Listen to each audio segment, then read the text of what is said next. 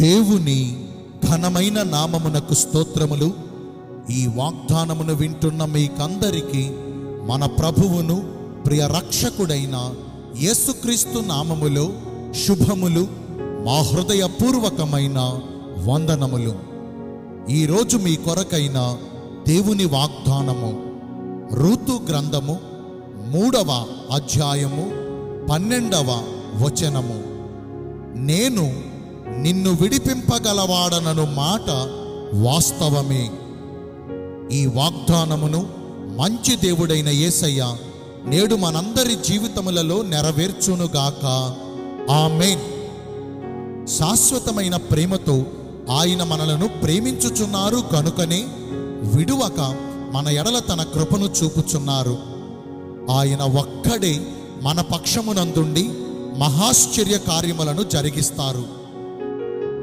ఈ మాటను ఎలీమెలకు వంశపు వాడైన బోయజు మోయాబియురాలైన రూతుతో సెలవిస్తున్నాడు. ఈ బోయజు యూదా దేశపు బెత్లెహేము నివాసులైన నయోమి పెనిమిటికి బంధువు. అప్పుడు బోయజు ఆమెను గూర్చిన సమాచారమును తెలుసుకుని ఆమెను ఆశీర్వదించి నీవు యోగ్యురాలవు. నేను నీ పక్షమున ఉండి నీకు బంధువుని ధర్మమును జరిపించేదను. నీకున్న ప్రతి బాధల నుంచి నీకున్న ప్రతి బంధకముల నుంచి నేను నిన్ను విమోచించుదును అని ఆమెతో సెలవిచ్చి ఆమెను వివాహము చేసుకున్నాడు. యషయ్య కుమారుడైన దావీదు వీరి వంశములో నుంచి వచ్చినవాడే. నేడు మన ప్రభువైన యేసయ్య మనకు సమీప బంధువుగా మన పక్షమున ఉండి మనకున్న సమస్యలలో నుంచి మన భారములన్నిటిలో నుంచి మన బంధకములన్నిటిలో నుంచి మనలను విడిపించగలిగిన సమర్థుడు. మన దుఃఖమును తొలగించి మన నోటి నిండా నవ్వును కలుగజేయువాడు.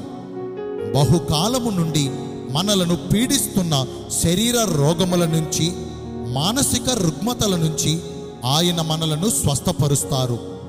మనము వేదనలో ఉన్నప్పుడు ఒకని తల్లి వానిని ఆదరించునట్లు ఆయన మన చెంతను నిలిచి మనలను ఆదరిస్తారు. మనమంటే గిట్టని వారు మన శత్రువులు మనలను చుట్టుముట్టి మనలను కృంగతీయుచున్నప్పుడు కాపరి వలె మనలను వారి బారి నుండి విడిపించి సంరక్షిస్తారు.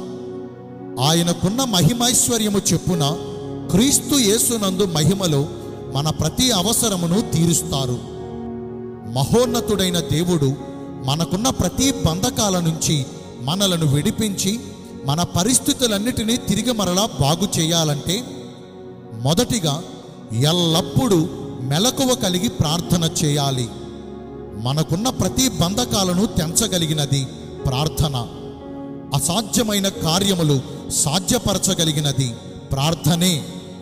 దేవాది దేవునితో మనము మాట్లాడుకున్నట్లు చేయునది ప్రార్థన. మన ప్రతి పరిస్థితులను మార్చగలిగినది ప్రార్థనే. కాబట్టి నేటి నుంచి విసుకక నిత్యము ప్రార్థన చేసుకుందాము. రెండవదిగా మనము దేవుని దృష్టికి సత్ప్రవర్తన కలిగి నడుచుకోవాలి. సమస్త విషయాల్లో దేవుని చిత్తాన్ని నెరవేర్చుచు ఆయనకు అనుకూలమైన భక్తిని చేయాలి.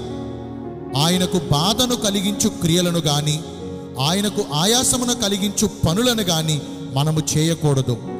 సర్వాంతరయామి అయిన యహోవా దేవుడు మన క్రియలన్నిటినీ బాగుగా ఎరిగినవాడు. ఆయన మన ప్రవర్తనను బాగుగా పరీక్షిస్తారు.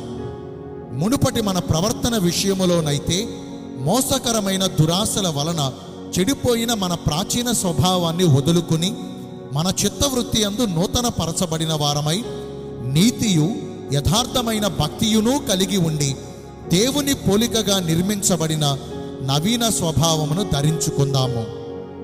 నేను మీ అందరి కోసం ప్రార్థన చేస్తాను. పరిశుద్ధుడును ప్రేమ కలిగిన మా ప్రియ పరలోకపు తండ్రివైన దేవ మీ కృప కలిగిన ఘనమైన నామమును బట్టి నిండు మనసుతో మీకు మా కృతజ్ఞతాస్థుతులు స్తోత్రములు వందనాలు చెల్లిస్తున్నామయ్యా. మాకున్న ప్రతి బంధకాలలో నుంచి మీరు మమ్మను విడిపిస్తానని ఈరోజు వాగ్దానము ద్వారా తెలియజేశారు. వాక్యానుసారముగా నడుచుకుని ఈ వాగ్దాన ఫలములను పొందుకునే కృపను నేడు మాకందరికీ దయచేయండి. ఈరోజు ఎందరైతే పుట్టిన రోజులను వివాహ దినములను ఇతరమైన శుభకార్యములను జరిగించుకుంటున్నారో వారందరికీ మెండైన దీవెనలు కుమ్మరించమని మీ రాకడ కొరకు మమ్మను సిద్ధపరచమని యేసుక్రీస్తు ప్రశస్త నామమున ప్రార్థించి వేడుకొనుచున్నాను. మా ప్రియ పరలోకపు తండ్రి. Amen.